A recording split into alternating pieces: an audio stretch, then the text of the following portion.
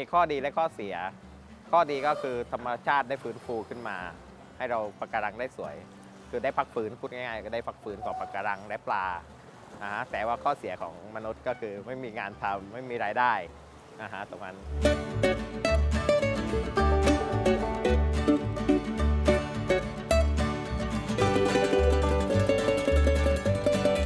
ถึงแล้วค่ะคุณผู้ชมคะ เกือบ 2 ชั่วโมงค่ะที่เรานั่งบนเรือสปีด โบ๊ทมานะคะอยากจะบอกว่าสุดยอดมากเลย ตอนนี้เราอยู่กันที่เกาะเต่าค่ะ วันนี้เราจะพาคุณผู้ชมมาสำรวจ ธรรมชาติวิถีชีวิตของเกาะเต่านะคะ ว่าตั้งแต่เจอผลกระทบของโควิดไปเป็นยังไงนะคะผู้ชมคะตอนนี้บรรยากาศรอบๆก็คือ เงียบสงบมากๆค่ะ คนน้อยมาก ใช้คำว่าน้อยมากถึงมากที่สุดเลยค่ะ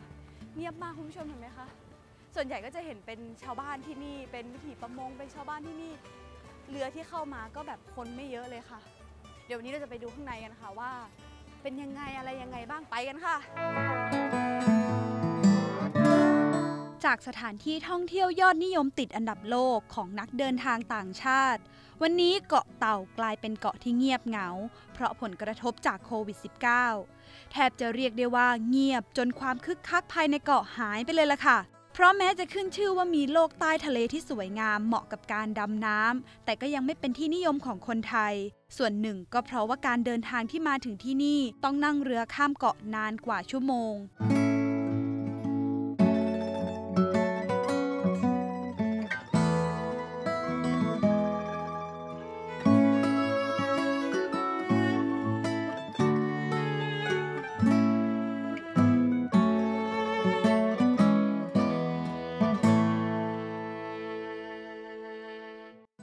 ขณะที่หลายชีวิตบนเกาะต้องเผชิญกับปัญหานักท่องเที่ยวหายรายได้หด แต่ในเรื่องร้ายยังมีเรื่องดีค่ะ คนที่นี่เล่าว่าหลายเดือนมานี้ธรรมชาติกลับมาอุดมสมบูรณ์ขึ้น เห็นได้จากความสวยงามของปะการัง และสัตว์ทะเลที่กลับมาหากินใกล้ชายฝั่ง ธรรมชาติฟื้นฟูตัวมันเอง โดยเฉพาะปะการังมันจะฟื้นฟูได้ดีมากเลยค่ะ ตอนนี้มีปะการังแตกใหม่เพิ่ม มากขึ้น แล้วก็นักดำน้ำพวกผู้ประกอบการก็มีเวลาที่จะไปดูแลเรื่องปลูกปะการังเพิ่มตรงนี้ค่ะ แล้วก็มันมีสัตว์ทะเลพวกปลาฉลามหูดำพวกนี้ตัวเป็นลูกปลาฉลามเพิ่มขึ้นมาเยอะอะค่ะ อ๋อหมายถึงว่ามีการดำน้ำใช่ไหมค่ะแล้วก็เป็น สำรวจไปเจอพวกสำรวจพวกค่ะนี้พบว่าเรื่องของอืมสัตว์ใต้ท้องทะเลเพิ่มอะไรอย่างเงี้ยใช่ค่ะ แล้วสัตว์ที่ถ้าสมมติว่าเรามาดำน้ำที่เกาะเต่าอะค่ะค่ะ ที่เราจะพบเห็นได้ที่นักท่องเที่ยวแบบถือว่าเป็นจุดที่แบบต้องมาเจอที่นี่เลยมีอะไรบ้างคะสัตว์ใต้ทะเลก็มีหลายอย่างค่ะเหมือนเต่าปลาฉลาม ฉลามวาน แล้วก็ปลาใหญ่ปลาน้อยเยอะมากค่ะ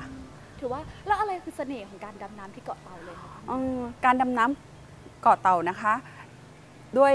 จุดดำน้ำที่ใกล้กับแผ่นดินนะคะ แล้วก็ส่วนหนึ่งก็คือกระแสน้ำไม่อันตรายเหมือนฝั่งอันดามันนะคะกระแสน้ำไม่เชี่ยวค่ะ ก็คือหมายถึงว่ากระแสน้ำมันนิ่งอืมสามารถใช่ดำน้ำได้ทั้งปีใช่ค่ะ สามารถดำน้ำได้ทั้งปีค่ะ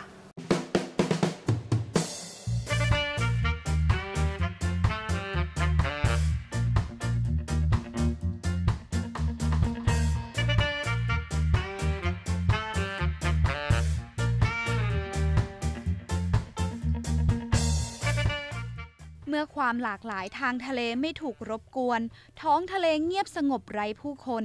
นอกจากปะการังที่ฟื้นตัวสวยงาม เหล่าสัตว์ทะเลหายากก็ได้กลับมาปรากฏตัวให้ได้เห็นมากกว่าปกติค่ะ ไม่ว่าจะเป็นทั้งเต่าทะเลตัวใหญ่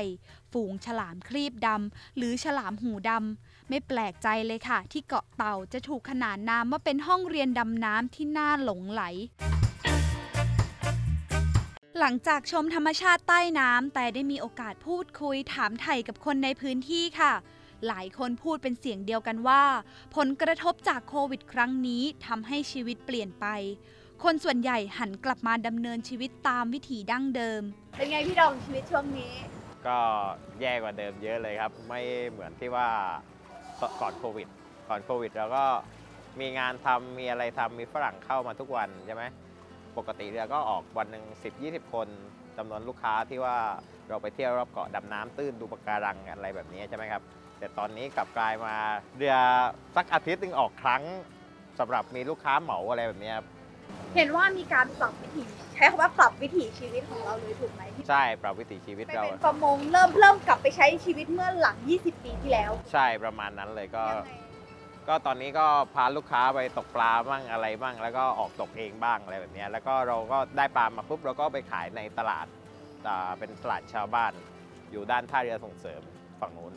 นะฮะแล้วก็ได้ขายก็ได้จ่ายค่าข้าวค่าอะไรแบบนี้ไปเรื่อยๆอืมก็เหมือนว่าตลาดชุมชนก็เข้าอ่าใช่ใช่เป็นตลาดชุมชนอ่าแล้วก็จากที่ว่าไม่เคยทำอ่าไม่เคยทำประมงมานานแล้วอะต้องกลับมาทำประมงอีกครั้งอะ มันก็เออลำบากนิดนึงนะ ตลอด 9 เดือนที่เจอโควิดไปอะไรอย่างเงี้ยอะไรคือทำให้รู้สึกว่าเนี่ยมันทำให้เราอยู่ได้และเป็นรอยยิ้มเป็นอันที่แบบโอเคเรายังอยากใช้ชีวิตอยู่บนเกาะอยู่อะเพราะอะไรอ่ามันคือเกาะเต่ามันเป็นบ้านเกิดของพี่ด้วย และอีกอย่างก็คือไม่รู้จะไปทำอาชีพอะไร เพราะว่าพี่ถนัดด้านนี้ด้านทัวร์ด้านเรือมานะฮะเลยแบบว่าเราต้องสู้ต่อไปอะแบบอืมมันมันหนีไม่ได้หนีตรงนี้ไม่ได้หนีบ้านเองไม่ได้เราไปเปลี่ยนอาชีพพี่ก็ต้องปรับเปลี่ยน งานใหม่หมดเลยใช่ไหมอ่าเลยก็ต้องลองเปลี่ยนตรงงานที่เรามีอยู่แล้ว ว่าพลิกโอกาสให้เป็นเอ่ออะไรวิกฤตให้เป็นโอกาส นอกจากธรรมชาติที่ฟื้นฟู อีกสิ่งหนึ่งที่เห็นได้ชัด คือขยะที่ลดลงไปกว่าครึ่งค่ะ จากปกติที่มีมากถึง 30 ตันต่อวัน เหลือเพียงไม่กี่ตัน ส่วนขยะเดิมก็ถูกนำออกไปแล้ว ค่ะคุณผู้ชมคะตอนนี้เราก็อยู่กันที่อ่าวลึกนะคะอ่าวลึกนี่เคยเป็นเรียกว่าเป็นอีกหาดหนึ่งที่เป็นที่นิยมของนักท่องเที่ยวค่ะ แต่แม้ตอนนี้จะไม่มีนักท่องเที่ยว คุณผู้ชมเห็นไหมคะก็จะยังมีขยะนะคะ พวกนี้นั่นก็คือเพราะว่า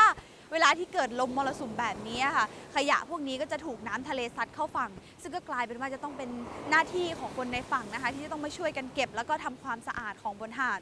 ทำให้รู้ว่าบนเกาะเองนะคะเรื่องของปัญหาขยะ มันไม่ได้มีแค่เรื่องของอุตสาหกรรมการท่องเที่ยว หรือแค่เรื่องของที่เกิดขึ้นจากชาวบ้านบนเกาะ แต่ก็ส่วนหนึ่งก็มาจากปัญหานะคะที่น้ำนะคะทะเลพัดเข้ามาสู่บนเกาะด้วยเช่นกันค่ะ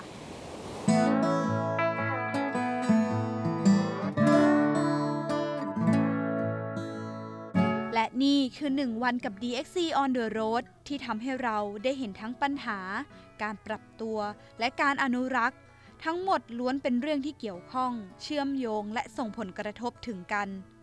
ท้ายที่สุดหากจะผ่านไปได้ก็ต้องอาศัยความร่วมมือของทุกคนบนเกาะค่ะ